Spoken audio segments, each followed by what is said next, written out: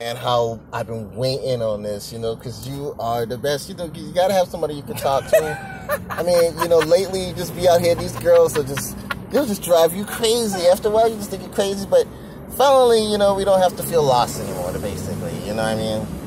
Just, this is amazing, isn't it? I mean, I pick you up, bring you back, because it's, it's cool to have a little angel out here. Oh, my little buddy. You know, this is gonna be great, man. It's gonna be great. Great, baby. yes, cool.